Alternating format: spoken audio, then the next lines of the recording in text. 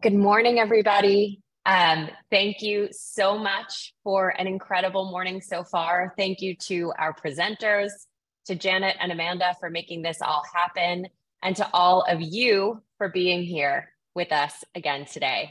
Um, as Brittany mentioned, I'm Annie Dean. I am better known as Walter's mom. Uh, day to day, I'm a technology executive leading remote work transformations. And I was recently traveling for work for uh, two weeks. And the night that, or the next morning after I got home, uh, Walter, who's seven years old with Kabuki syndrome, climbed into my bed, held my face, and said, I love this world. Um, and I know many of you on the line are people who benefit from the love and experience of um, parenting and knowing and um, being close to people with Kabuki syndrome. And for those of you who have uh, as a person with Kabuki syndrome yourself, thank you so much for the positivity and optimism you bring into this world. Um, you are an inspiration to all of us and the reason why we take on the work that we do at the foundation. Um, so it's always really inspiring to me to hear Janet kick off our annual conference because it's such a tangible reminder of what we want to achieve at the Kabuki Syndrome Foundation, as well as how far we've come over the past six years. Um, last year, this community helped us raise $64,000 over our two day conference. It, that turned into more than $150,000 um, with our matching that happened last year. And what it did is it helped us fund our operations. It gave us people to focus on these challenges every single day of the year. It helped us fund research grants um, and also to invest in collaboration uh, and community uh, infrastructure. So, my ask of you right now is to help us beat that goal this year. Um, due to some gen- uh, generous members of the community, we have a matching program where every donated dollar will count three times. So far, we've raised $27,000, and we're hoping that you can help us beat our goal last year by helping us raise another $72,000, helping us reach our goal of $300,000 with matching, which will keep this organization funded and working for you every day of 2023. Uh, now, I wanted to pause and talk about where we're headed for the next section of the conference. We've heard amazing speakers on the main stage today, but if you remember last year, uh, we asked all of you to fill out a survey and tell us about the things that you most want to know and understand as community members. And as a result, we're offering three deep dive discussions uh, with different experts in the field that reflect your top priorities from last year. In order to access these uh, next breakout sessions, you can either stay in the main stage or you can go to the agenda and select one of the uh, events that is happening in other uh, EventMobi rooms. And you'll do that by looking at the agenda on the left side of your menu. So let's talk about what discussions are happening. Uh, in the main stage, uh, is going to be a discussion about hypotonia. So if you want to listen to this discussion, stay right where you are. Hypotonia is one of the top four issues that people with Kabuki syndrome experience. Low tone is neurological and it's muscular. So today, join us on the main stage for a presentation from Dr. Emanuela Gussoni and her colleague and collaborator, Rachel, Rachel Gottlieb. If you're interested in learning about immunology, please join us in breakout room two. Um, immunology impacts in Kabuki syndrome patients often lead to recurring infections and other uh, complications. In this session, we'll examine the root cause of immune differences and how we are exploring effective long-term treatments. Today, Dr. Sarah Potter and Brittany Spear Simpson will be leading a discussion on altered immunological development. Did anyone hear me just say Brittany and immediately go to Brittany Spears? I guess uh, that's been on my mind. Breakout number three is about clinical management guidelines. So, what does clinical management guidelines mean? It means that we want to ask ourselves the question how do we make sure that the healthcare community has a consistent playbook for treating and caring for people with Kabuki syndrome? As parents and people living with Kabuki syndrome, we want to know what to screen for, what to expect, and how to best treat it. Today, Dr. Banka will be leading a discussion on developing evidence-based clinical management guidelines for Kabuki syndrome. As a reminder, if you would like to hear the hypotonia discussion, please stay in this room. And if you would like to go hear an immunology discussion or a discussion on clinical management guidelines, please go to the agenda at left and select the rooms that are available there. Welcome, Dr. Emmanuel, Emanuela Gussoni and Rachel Gottlieb. Thank you for chatting with us about hypotonia.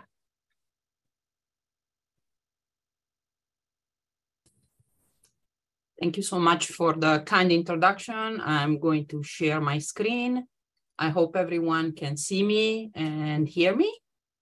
Um, uh, thank you so much for the Kabuki Syndrome Foundation for allowing us to participate uh, at this very exciting meeting and to share some of our findings on hypotonia in Kabuki syndrome. Um, I'm Emanuela Gussoni. I'm a muscle biologist uh, by training, and I'm going to tell you a little bit about our work uh, in the lab today. So as uh, we heard today, um, Kabuki syndrome pres can present with um, hypotonia. And the big question for me, being a muscle biologist, uh, has been to actually understand whether this hypotonia is a primary problem of the skeletal muscle or is a secondary problem due to a nerve conduction defect. Um, and so we basically in the lab focused on uh, understanding these aspects of hypotonia, and we use both animal models um, as well as uh, uh, patient samples through the Roya Kabuki program uh, to start addressing these, these fundamental questions. Um, and of course, the other question is, um, is it possible to reverse any type of deficiencies that we might see in stem cells or in skeletal muscle function um, in the mouse model downstream of the KMT2D mutation? And can they be somehow reversed? And so these are basic science questions in the lab that we, we started following up on, uh, and we have some data that we want to share with you today. So just a very brief introduction to show you what skeletal muscle is made of. You see right here um, a, a, a, muscle that is uh, basically formed by many, many fascicles of what are called muscle fibers that you see as circles uh, right here in the picture. And each one of these muscle fibers, they're called myofibers, is actually enlarged right here. I'm taking you on a virtual tour through the microscope uh, where you can see they are basically tubes that are formed by fusion of cells. Uh, they form, you know, a little community, uh, and these are called myofibers. And in addition to, to them, uh, there are actually mononuclear cells of different types. The ones that I'm going to focus on today are depicted in gray, and they're called satellite cells. And these satellite cells are the muscle stem cells of the skeletal muscle. Um, here you see a little bit of a, uh, a transverse section zooming in, and you can see the muscle fiber outside here, the myonuclei that derive from the fusion of the muscle stem cells, and the muscle stem cells are here at the periphery of the myofiber. So we looked at all of these different entities in uh, the mouse model that uh, Dr. Bjornsson introduced uh, this morning uh, kindly. And so uh, I will give you a little bit of a um, of an introduction of what we have found. So um, this, this slide right here shows you how we isolate human or mouse muscle stem cells from skeletal muscle. We pre-weigh um, a plate, you know, and then we, we isolate the muscle tissue or we take the muscle tissue from a sample and then we mince it and digest it with enzymes filter it, uh, and what we obtain are the muscle stem cells and the other cells that I show you in the previous cartoon, and then we're able to study them in vitro. We culture them. Um, we know about specific markers that are actually expressed on the muscle stem cells, and it allows us um, to, to enrich for these cells and, and study them uh, in vitro. So uh, the studies that I want to talk to you about um, are basically on the mouse model that I, I, I said I was introduced this morning uh, from Dr. Bjornsson. And this is this is great because um, the more we study the different systems and the same mouse, uh, the same um, mouse model, uh, for for uh, potential problems, you know, with this mouse, mouse model, the more we're going to know how similar they are to the human disease uh, and how better we can use these models to help us develop therapies. Um, and so we isolated muscle stem cells from control and uh, the beta geo mice. Um, and then what we did, we tested these stem cells for expansion capacity in vitro. And also we tested them for uh, ability to differentiate in vitro. And again, we did parallel um, experiments using control cells and Kabuki, um, Kabuki syndrome derived cells from the mice. And so our first question was, um, do muscle stem cells proliferate normally in the mouse model? And so what you can see in this slide is uh, a, a, typical experiment um, on how we test in vitro whether the muscle stem cells are proliferating or not. And we use these markers that you don't need to remember, but basically are, are canonical markers that are used. PAX7 is a muscle stem cell transcription marker and Ki67 is for proliferation. Um, and when we looked at a lot of different mice um, and, and also a lot of different uh, cultures from these, uh, from these mice, we saw that the muscle stem cell numbers were not different in Kabuki syndrome compared to control mice. Um, and that the activation of these stem cells was actually quite normal. There was no difference between control and KMT2D uh, mice. So the next question that we wanted to address was, um, is the differentiation in these muscle stem cells somehow affected? Um, and so to do this, um, we plated the cells and then allow them to differentiate using steps that are very well established in the field. And you can see on the left side right here, um, different stages of this differentiation culture. On the left side of the, uh, of the panels, you see uh, examples of control cultures, and on the right side, examples of cultures from Kabuki syndrome mice. Um, and you see three different stages of differentiation. They are progressive. So the very first one on top is basically the exit of the cell cycle and proliferation state or, or beginning uh, of the differentiation stage. Um, and as I told you already before, we did not see any difference. Um, and this is represented in this graph right here. Uh, there is no, stat no statistical difference between control and KMT2D mice. They both express uh, the same number of MyoD positive nuclei. When we begin the differentiation, and you can see the cells have started stretching a little bit more, um, and we check for the next uh, marker for differentiation of myogenic cells. This is called myogenin. Um, we actually see that uh, there is a difference, significant difference between control mice and Kabuki syndrome mice, where myogenin expression is significantly decreased in the KMT2D beta geo model compared to wild type um, uh, cultures. And the same was true when we were progressing a little bit further into differentiation where, where the cells fuse a little bit more and we allow them to form these myotubes, which basically represent the myofibers that we have in vivo in a, in a culture dish. And you can see right here how in the control cultures, we have very large myotubes and each one of these blue dots is a nucleus or a cell that has fused to form these very large myotubes. And you can appreciate right here on the right side in the Kabuki-derived cultures how there are uh, significantly less nuclei that have fused uh, in these cultures. And so you see right here that the fusion index um, in the Kabuki cultures is significantly less compared to the control mice.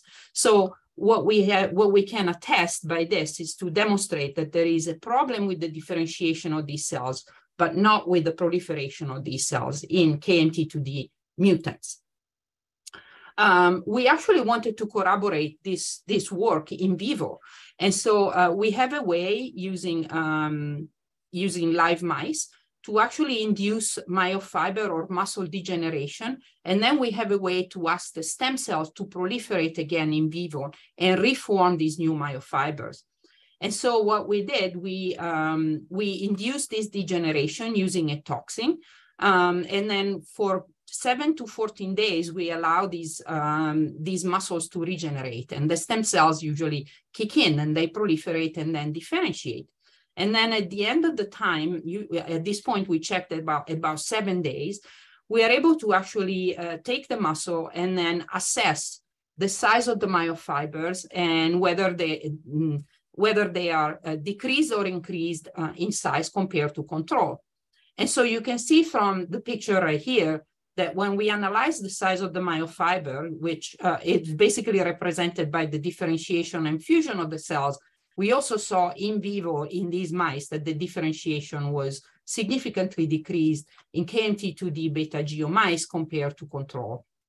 And so we're fairly confident to say that the differentiation of the muscle stem cells is somehow slowed um, in these uh, myogenic precursors. The next question that we asked was related to actually the uh, neuromuscular junction. So we still have um, we still need to understand whether the neuromuscular junction or input coming from the nerve in these mice are actually affecting the differentiation of the muscle and if there is a primary problem with the nerve. So what we did was to analyze many neuromuscular junctions that you can see uh, stained right here on the left panels using a, a neuronal marker that you see in green and a muscle marker on the other side of the receiving, uh, receiving ending of the nerve um, that you can see in red. Um, and so using these two markers, we were able to look at many, many different neuromuscular junctions in both control mice and kabuki mice. And as you can see from all these graphs on the right side, we were able to actually um, assess many different parameters in these neuromuscular junctions. And most of them did not show any difference between control and kabuki mice, um, with the exception of one, which is the total stain perimeter of the neuromuscular junction here in, in red. So it looks like the size or the perimeter of the neuromuscular junction in the kabuki mice was significantly less uh, large compared to control mice. And we're still looking in, in more depth into this, whether it is, it is derived from a primary problem in the muscle fiber or if it is due to a lack of connection of the nerve with the neuromuscular junction itself. So stay tuned. Um, the last question that we wanted to address was whether the problem is in the indifferentiations that I have shown you in vitro and in vivo with the KMT2D beta geo mice were actually uh, reversible. And so to do that, um, we isolated the stem cells from wild type or kabuki mice that were never cultured before. And we injected them in another mouse model that we have in the lab that does not have kabuki syndrome, but has another problem. Um, it has Duchenne muscular dystrophy.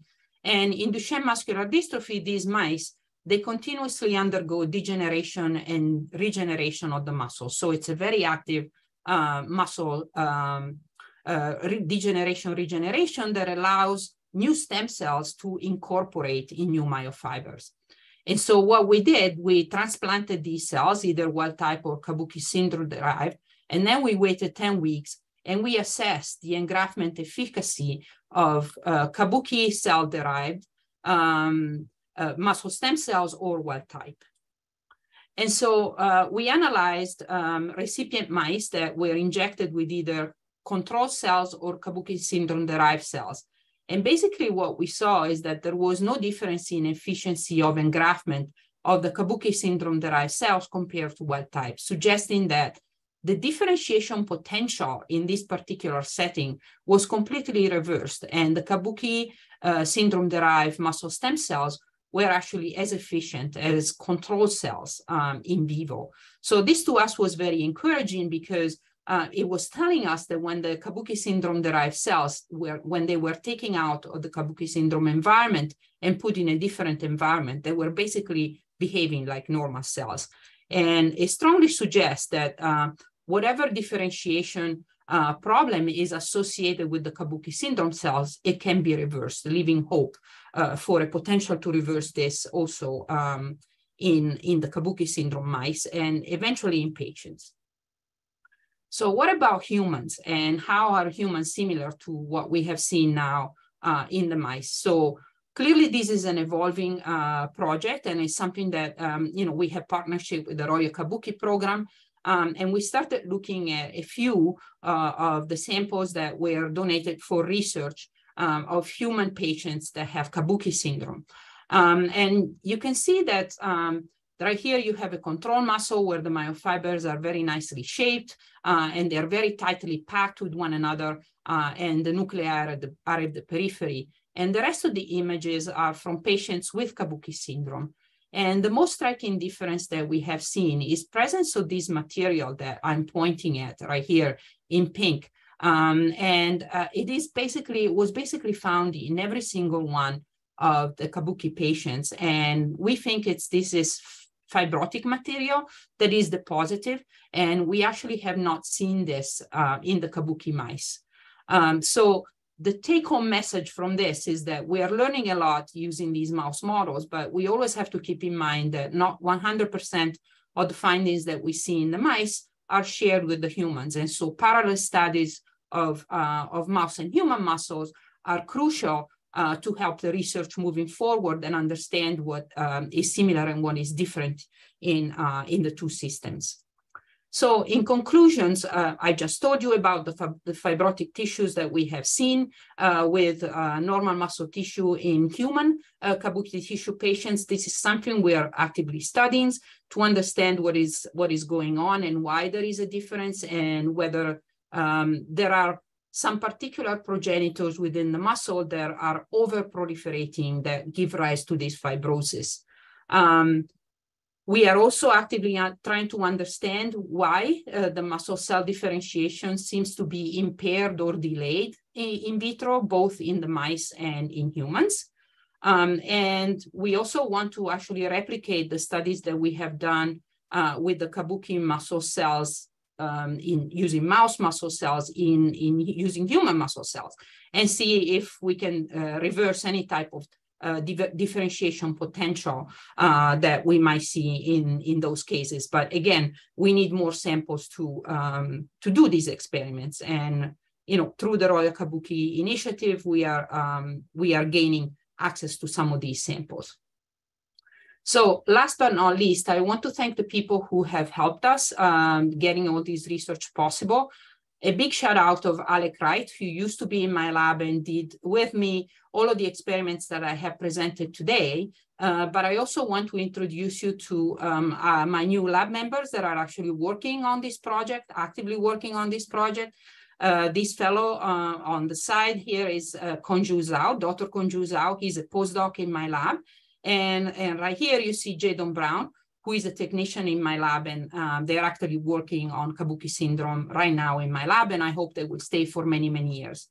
Of course, I have to thank the Roya Kabuki program um, and all the different members who have been uh, totally supportive of this project um, and uh, helped us with resources and, and, uh, and advice uh, over the years and Cincinnati Children's Hospital um, that actually collaborated with us for the work that I have presented today.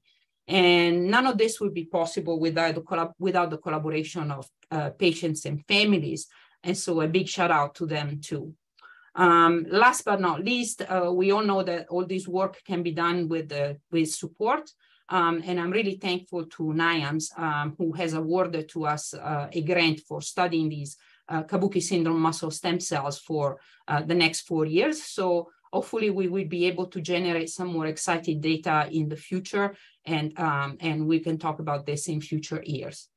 Um, so with that, I am actually delighted to introduce you to um, our next speaker, uh, who is uh, Rachel Gottlieb from uh, the Roya Kabuki and uh, program, and she will actually tell you a little bit more about how you can participate in this research and help us um, uh, with your support. So thank you so much. Thank you, Rachel.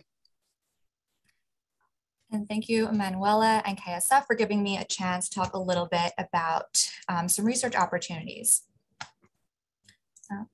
Okay, so my name is Rachel Gottlieb. I am the program coordinator for the Kabuki program here at Boston Children's Hospital.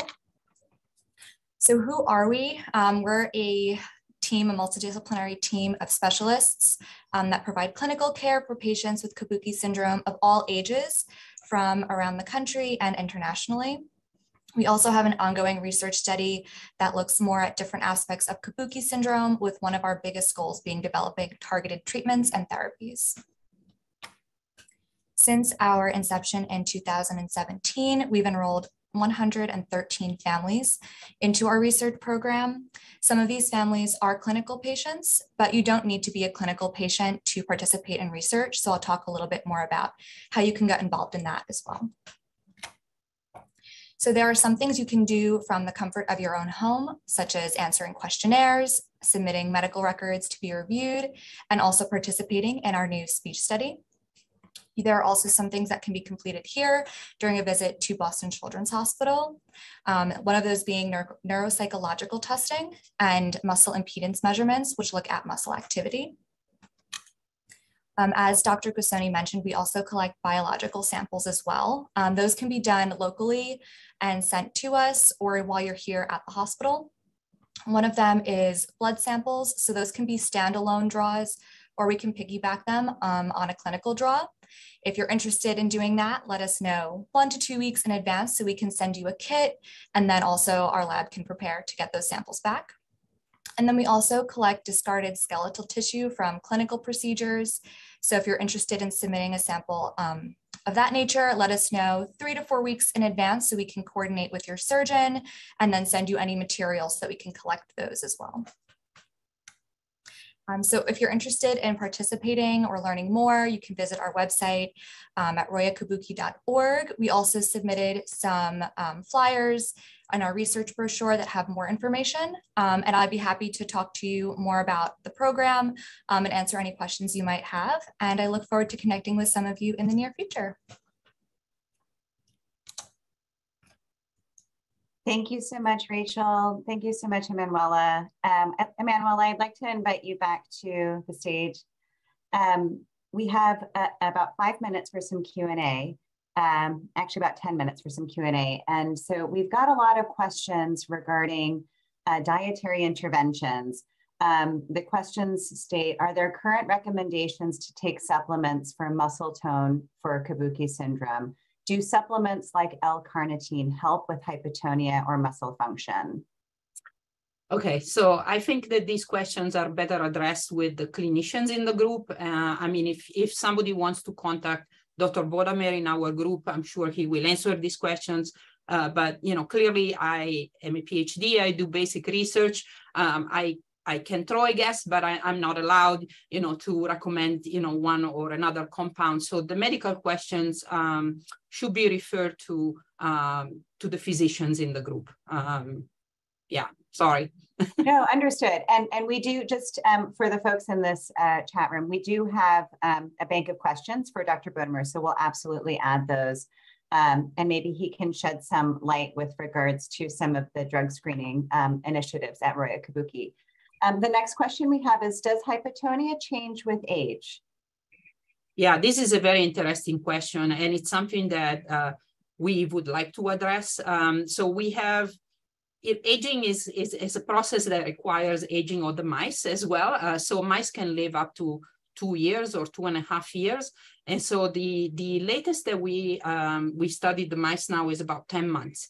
Uh, but we have a colony of mice here at Boston Children's Hospital, and we actually have uh, generated or we have imported some more colonies, uh, both with KMT2D and KDM6A mutation, and we're planning to age these mice and address these problems with aging as well. So that is, that is something in the works. Again, um, we just started this work last year, so we have to age the mice before we can uh, we can do this. And in humans, um, the only way we can do this is to actually by studying uh, control tissues that are age matched with um, with Kabuki syndrome derived tissues. Um, and so this requires um, analysis of a lot of samples that um, you know take the same type of muscle uh, and are the same age and also gender because um, you know humans obviously are very different from mice. Mice are inbred, and we need to match um, co create cohorts of group of of tissues that are, are similar so that we can compare scientifically one and the other. Thank you. Um, a lot of uh, individuals with Kabuki syndrome uh, take physical therapy. And there's a question on if drills, physical therapy drills or exercise um, can help individuals eradicate or mitigate hypotonia. Yes. Um, so I would not um, I would not say that you know these people should uh, do strenuous exercise, but clearly uh, exercise is is known to be helpful for uh, for fighting hypotonia. Basically, um, if there is a little bit of exercise, we're helping the muscle stem cells staying in function. Uh, if there is a little bit of muscle damage, these muscle stem cells will activate and keep the muscle alive. So, um, you know, muscle is one of those organs that we say use it or lose it. Um, and so this is good for everybody, regardless of whether they have Kabuki syndrome or not. If we stay active, we will maintain it. And so um, again, not nothing too strenuous, but um, but in in good measure and in, in you know in moderation, it's it's totally recommended. Um, does hypotonia occur in every muscle in the body, or are only some muscles affected? Outstanding uh, question. So uh, it, this is what we're trying to understand. Uh, we're focusing, um, you know, first in the mice, you know, to see if there is some some type of slow muscle or fast muscles that are more affected in the mice. Um, and uh, in humans, it becomes more and more difficult because, um, you know, one one with the functional assays they can be assessed. So maybe uh, maybe some of the some of the studies in patients will address this, uh, but it is it is possible that depending upon how the nerve connects with the muscle and how much firing there is, and then how the muscle receives these signals from the nerves, there could be differences in uh, hypotonia manifestation in different muscle types. So that's a, that's an outstanding question. Uh, for example, the, our eye muscles are very, very fast, uh, while other muscles in our body are very, very slow. And so we will address these questions using the mouse models. And uh, hopefully, um, you know, we would be able to, uh, to also study some of these uh, questions in humans. Great, thank you. Um, we have a question here that's asking if Kabuki syndrome interrupts the messaging or the signal from the brain to the muscles, uh, similar to um, what stroke victims might experience. The individual knows what they want to do, um, for example, handwriting, running, gross motor, but the muscles do not respond efficiently is that an accurate um, response? And if so, what therapies can work to improve that communication with the muscles? Yeah, this is uh, this is the fundamental question in the lab. And so uh, what we are doing, we are actually comparing um, studies in mice that have a mutation in every cell in their body. Um, you know, the KMT2D model that Dr. Bjornsson has, has generated. So presumably they have, a you know, they have the mutation in both the nerve and the muscles. Uh, with kabuki mice that have only the mutation in the muscle. And we're going to address, by comparing these two models, we're going to address whether there are deficiencies that are only due to the muscle component or if they are due only to the neuronal component. Uh, one can play the game and say, okay, so we're going to leave the muscle component intact and just do the neuronal and see if the muscle is affected those strategies are also possible. Um, and so all of this is, is focus of research. And these are all excellent questions that are, are clearly, clearly need to be addressed in the field. Thank you so much. We have time for one more question. Um, do you know if there is uh, any effect on growth hormone on the improvement of muscle strength and hypotonia? So I know that growth hormone has an impact on muscle growth. Um, whether that is a is playing a role in Kabuki syndrome, I do not know yet. So I don't know of any group right now that is studying, but that doesn't mean that is not happening. So hopefully it is happening. The more the merrier. We need help. Great, thank you. And actually, just one final question, and and maybe Rachel can can hop on. Um, how do I get samples to BCH or Roya Kabuki? Yeah, great question. Um, so if you want to send some samples our way, feel free to reach out to me directly via that email or a phone call, and we would send you a kit in the mail that you would you know, collect a sample in, and then it would inter- include um, return postage, return um, mailers, and you would just send it right back to us. Great, thank you so much. And also there is some additional information for folks um, in the navigation menu under research recruitment for additional information on Roya Kabuki program. Um, Dr. Gussoni, Rachel, thank you so much for joining us for this deeper dive conversation. Um, for those whose questions have not been answered today, we will certainly get those questions to the team at Roya Kabuki's and we will follow up with you all.